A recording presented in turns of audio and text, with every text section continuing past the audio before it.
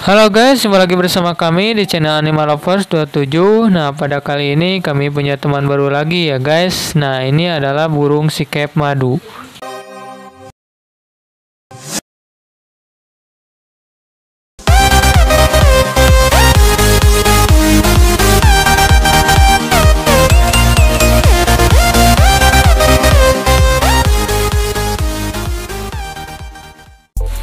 Nah, jadi burung sikep madu ini adalah jenis burung pemangsa yang ada di Indonesia. Dan salah satu burung sikep madu yang bisa dijumpai di Indonesia yaitu burung sikep madu Asia ya, guys. Burung sikep madu Asia di alamnya akan bertahan hidup dengan cara menyamar menyerupai dengan jenis burung pemangsa lainnya yang lebih kuat. Jenis burung pemangsa ini termasuk burung yang tidak banyak menonjolkan diri ketika tiba saatnya musim panas.